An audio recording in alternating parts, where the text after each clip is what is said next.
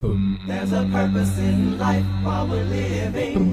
We share a common goal to make it to heaven. Shining our lights so others might see. We've got a purpose in life.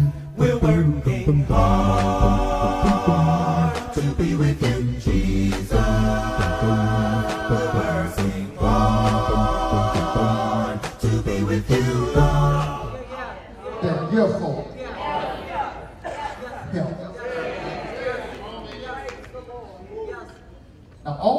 everybody will help you, but that's a whole different story. Y'all, y'all cry, y'all gonna act like y'all. You're supposed to be so mean, like, mm, yeah, you, you, you, you in church, you're supposed to help somebody. You are saved to save somebody else. You are helped in order to bless. God didn't give you your blessings to keep to yourself. God blessed you to bless somebody else. And you ought to make it a practice, I told you last time I was here, to try to bless somebody every day. Because when you start blessing folk, the Lord will keep pouring it in.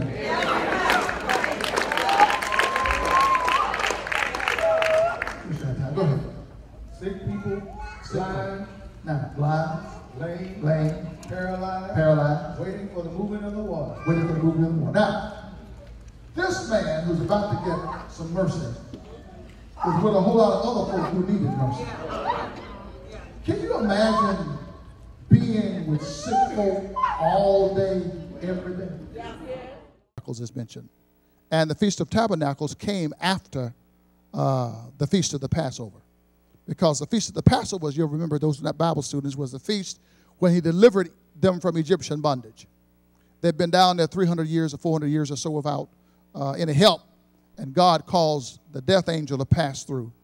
And the firstborn in every household that did not have the blood on the door, you remember that? Died. Uh, and so every year after that, the Jews celebrated the feast of the Passover when death passed them by. And then after that, they would celebrate the feast of tabernacle, which means tent. That's really another word for our bodies. Our bodies are a tabernacle. A tabernacle is that which is not permanent. Yeah. It's not designed to last always. That's why folk die. Because we're only tabernacling in our tabernacle. Okay? So so then so then we're not designed to live here forever. So he mentions the feast of the tabernacle later on. So this is the feast of the Passover and Jesus is now going to Jerusalem to celebrate that feast. Read. Now there is in Jerusalem Uh-huh. by the sheep gate a pool, Uh-huh. which is called Now, the sheep gate is the gate where they brought all of the sacrificial animals in. Uh, you know, back during that time, uh, animals were sacrificed uh, to atone for the sins of the people. Huh? Uh, uh, and I'm glad that uh, that was true. You know, there were there were lambs that were sacrificed, and and there were, amen. If you were poor, if you were poor, there were turtle doves that were offered as sacrifices, and there were bullocks that were offered, and and and this gate was near the altar where they would actually sacrifice uh, the lambs. Uh, but I'm glad, and I'll tell you that near the end, that there was a lamb. But, but that's, that's too early to talk about that. But, but, but, but that was the gate that they would bring the animals through, close to the, uh, to the altar. Read. which is called in Hebrew Uh-huh. Bethesda. Bethesda means house of mercy. It means house of mercy. And, and I'm glad that mercy is still in the Bible. Because some of us in the church don't know mercy. We know justice, but we don't know mercy. Uh, uh, I'm glad that y'all are not my judges. Because if y'all judged me, I would get no mercy at all. But I'm glad that every morning I get up, there is a just God that shows me mercy. Because if He hadn't showed me some mercy, I really wouldn't have gotten up this morning. Now, I know y'all would have gotten up because y'all good. Y'all got halos and wings. But I, I still have a few horns on my head every now and then. I, I don't always have halos. I don't. When that woman tore up my car, I was glad to get out, but I looked at her and, and, and a few thoughts came to my mind. But I had to surrender those thoughts to Jesus. My, my brakes failed. I mean, you, you, you know, you running around with bad brakes, hey man, and tearing up folk cars and halfway killing folk. I, I had some thoughts that came to my mind, but but I wouldn't let the. I, tore up my car all in pieces. Got me hopping and uh, hurting and going on. Mercy. This place was called Bethesda because the folk that were there needed mercy. I want to know if the folk that are here need some mercy.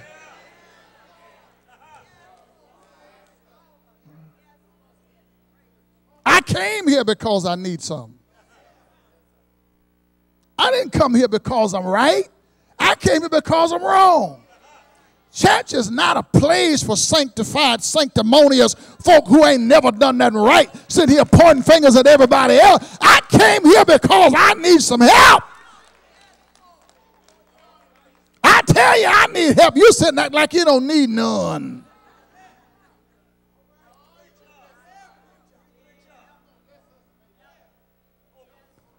You know, it's amazing how, how folk get old and then they get holy.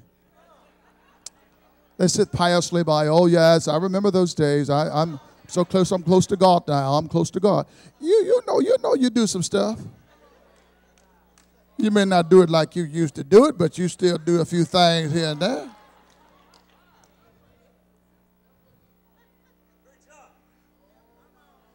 Read, read, read, read a little further. Let me go ahead and get done with this.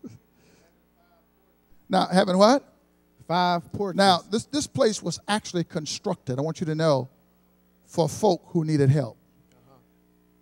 It was actually, this area was constructed for folk who needed help.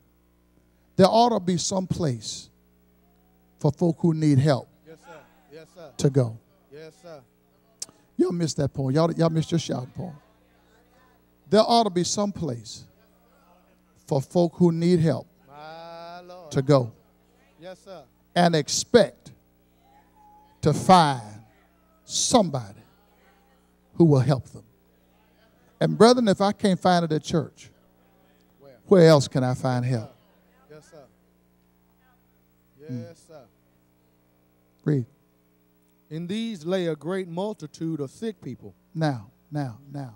This place near the sheep gate they knew was a well traveled area.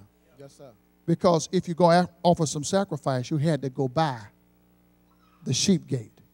So folk who needed help had the necessary traffic to solicit help from the folk who were going to church.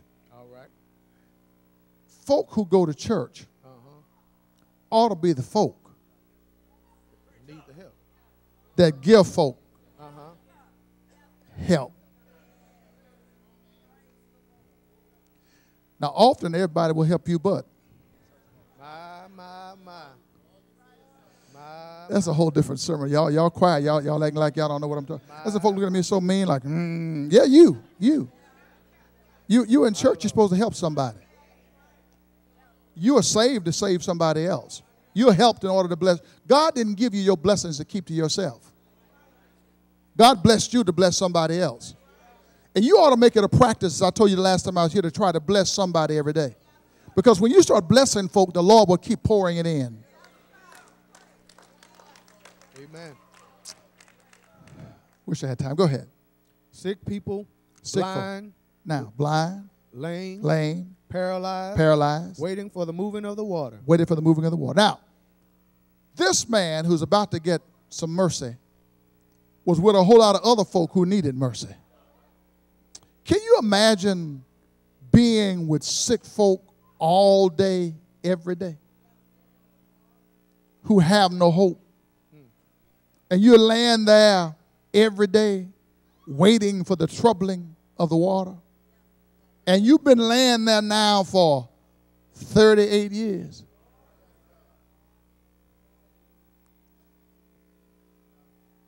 That's a patient man. Some folk don't want to wait on their blessings at all. This man waited on his 38 years. Huh? Read on a little, read on a little further. I want, I want to see him get to them. Go ahead. For an angel went down at a certain time. Now, actually, in some manuscripts, Brother John, and some man, the best manuscripts, this part about the angel coming down uh, is not there. In some of your versions, as a matter of fact, it's not there because it was just rumored. John tells us, as a matter of fact, when it gets to the scribe writing it for him, but actually it was rumored that an angel came down. But John says it, so I'm going to take what John said. All right. Okay? But the room, angel would come down and he would do what? Certain time into the pool and stirred up the water. And he would stir up the water. then, uh-huh. who, then whoever stepped Whoever in steps first, in first after the stirring of the after water the stirring of the water was made well of whatever was disease made he well. had. Uh huh. Read. Now a certain man Certain man. Was there who had an infirmity How long? 38 years. Now, that's a long time to be sick. That's a long time to hang out with other sick folk. Hope is gone, you know, but I'm still coming anyway. Yeah. Ain't nothing happened for me in 38 years.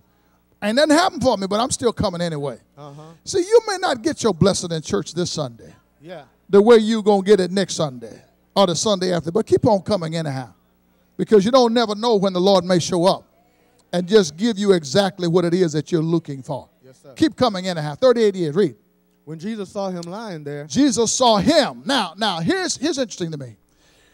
Uh, this is the one of the only cases in New Testament where Jesus is about to heal a man who didn't ask him to heal him. Everybody else that came to the Lord came to the Lord asking the Lord to heal him.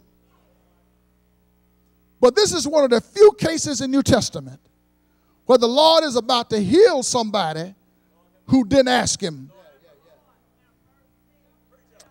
I learned that God knows what I need. And if in my feebleness of my prayer, I don't say to God and tell him exactly what it is that I need, but because he already knows it, the Lord would give me that which I don't have enough sense to ask Him for. The Lord picked this man out. Watch this now. There are probably hundreds of sick folk that are laying there with this man, but it ain't their day. It's not their moment. Lord, I'm here You're gonna heal all him and leave me? Isn't it strange how God works? Your neighbor gets blessed that don't go to church. And your car raggedy won't go nowhere. You waiting on your blessing and your neighbor gets the blessing. Lord, that ain't right.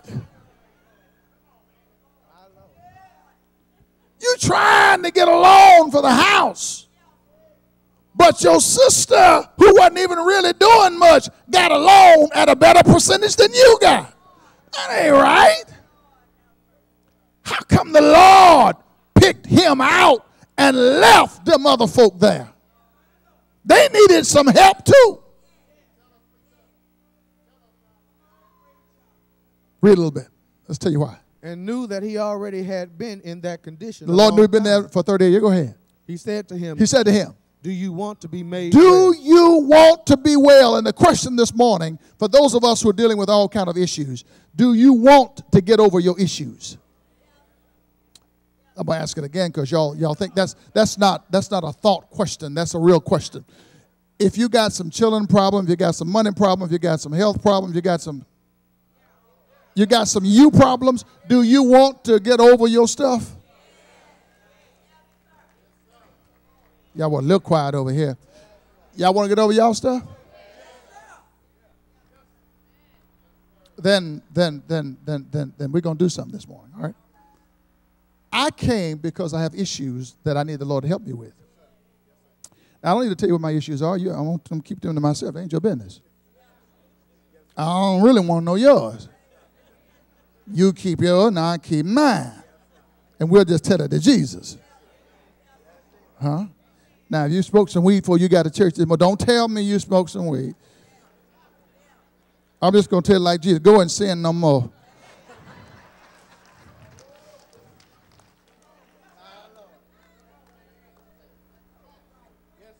I can't see that well. I don't know my weed smoker smiling or not. But anyway, uh, we got some, you know, you know, some folk are just waiting until they make it a recreational drug. I'm just waiting. It's coming, Brother Blakney.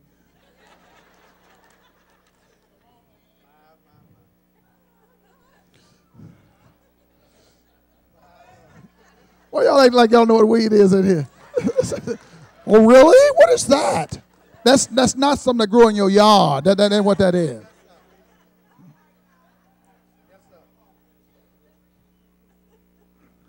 Let's go on. I gotta go.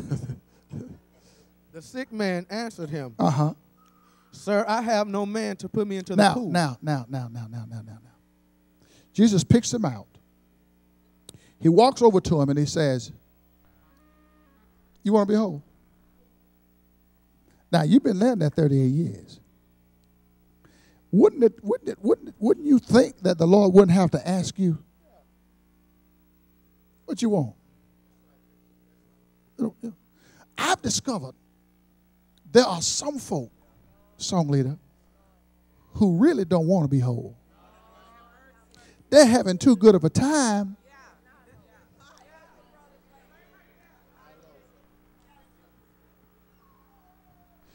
Do you know if you gave the man sitting on that corner down there with his sign to my will you know need help a job, he couldn't beg no more, and he'd rather beg.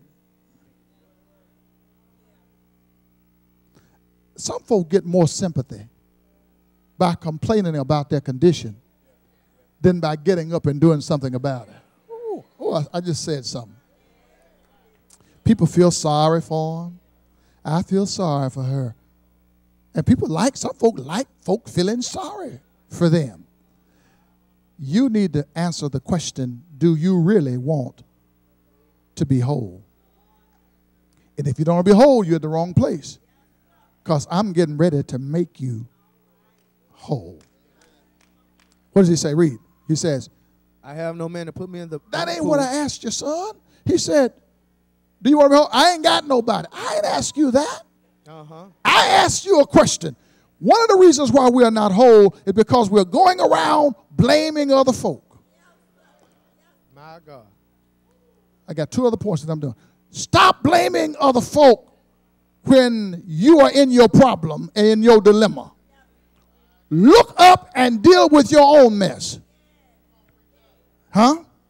It's easier to say other folk got me in this mess than to deal with the reality of being in your own mess.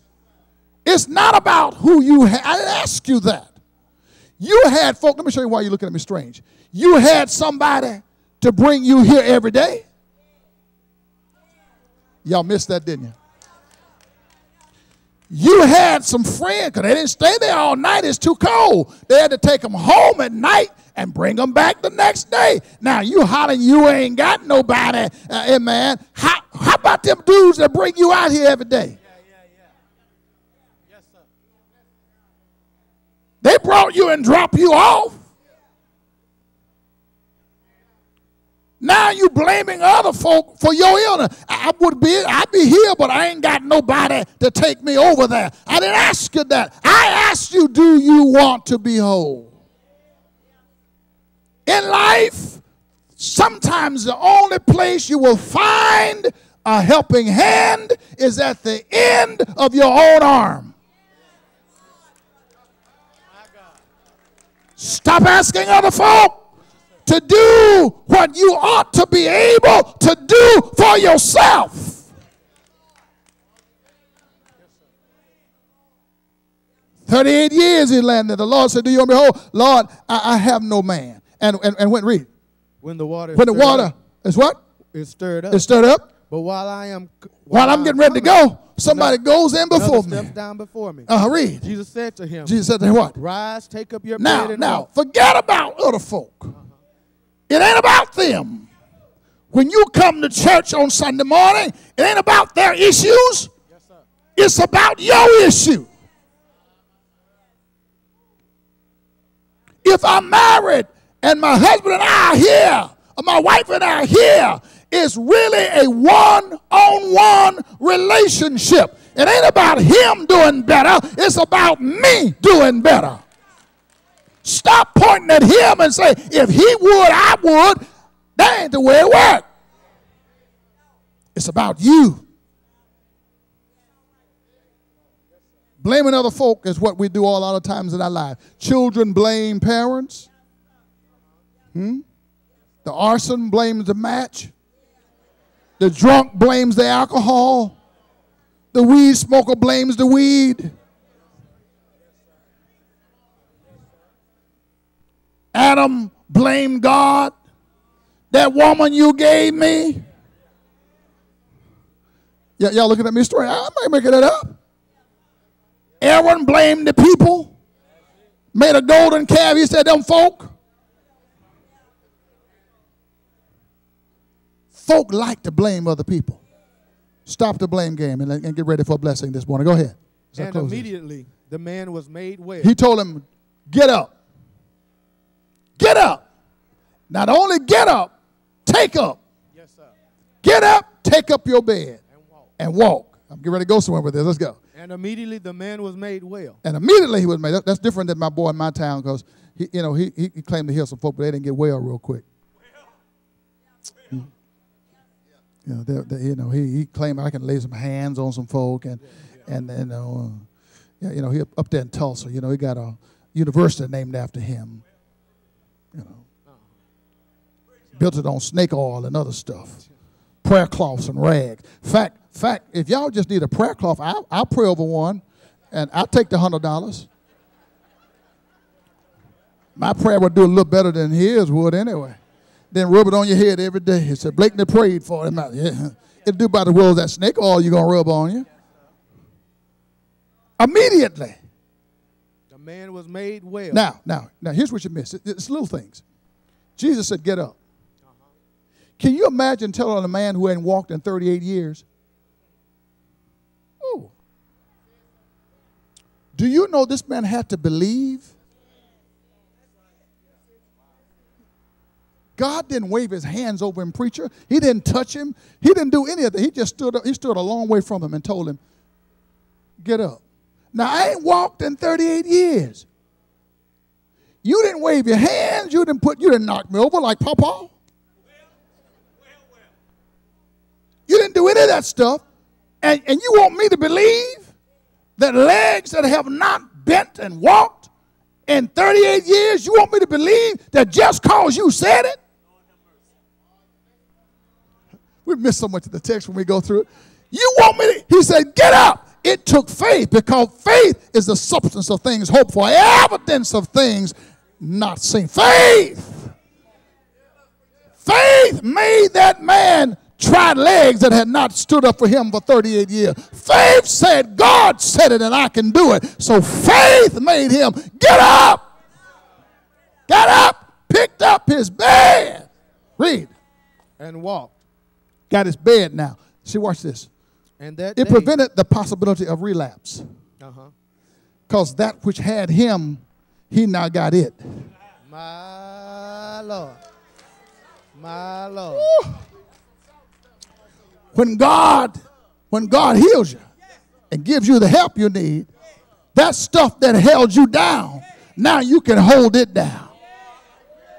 That bed that held him for 38 years, now he holding the bed. Dope heads can stop. Amen. Crackheads can stop.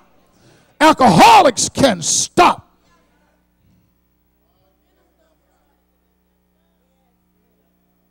Because God can empower you for you to take care of that which got you.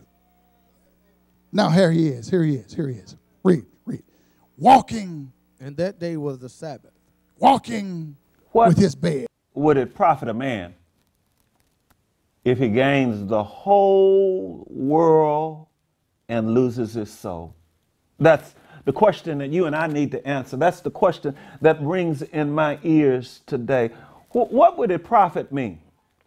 What would it profit you if we got all of the things we wanted? We, we got the right job.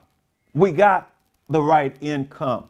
We got the right house. We got the right car. We got all of the things we wanted and then lost our soul.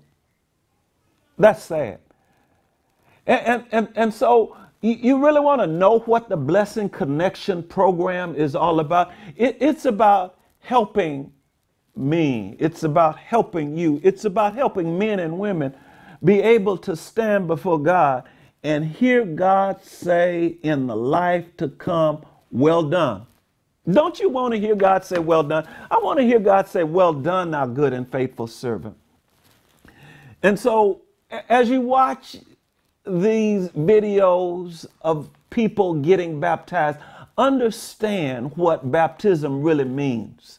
Baptism is really a symbolic act. It represents the life, the death, the burial, and the resurrection of Jesus Christ. It, it, represents the fact that I have given my life, I am being buried, I am being raised again to live a new life in Christ Jesus. It's, it's the opportunity for me to stand before God and hear God say, the substitution death of Jesus Christ, I no longer see you, I see him. It's Christ taking my place. It's not about my works, it's about the grace of God and that God sent his only begotten Son. And so when you see someone get baptized, what they're really saying is that I've heard the good news that God sent his only begotten Son. I believe that Jesus is God's Son. I will confess with my mouth proudly that Jesus Christ is the Son of God. I will repent of my sin. I no longer want to sit on the throne. I want Jesus to sit on the throne. I'm going down. I am getting baptized because I want to be able to say, it's no longer I who lives in me, it's Christ who lives in me. That's what the passage is about in Romans chapter 6, verse number 4. Let me read it to you. We were therefore buried with him through baptism into death, in order that just as Christ was raised from the dead through the glory of the Father, we, that's you and I, we too may live a new life. Well, that's the plan of salvation. And for today, that's the blessing connection. I, I hope you enjoyed it. Uh, it's our joy to uh, share this program with men and women around the world. And I pray it blessed your life. Our service times begin on Sunday morning with Bible study at 9 a.m. with classes for all ages, morning worship 10 a.m., evening worship 5 p.m., and on Wednesdays, our midweek Bible study begins at 7 p.m. Please come and be our guest. If you are calling to request prayer, please dial 1 855 45 Connect. Our Twitter account is at Connect with Him. If you would like to purchase, call 1 855 45 Connect.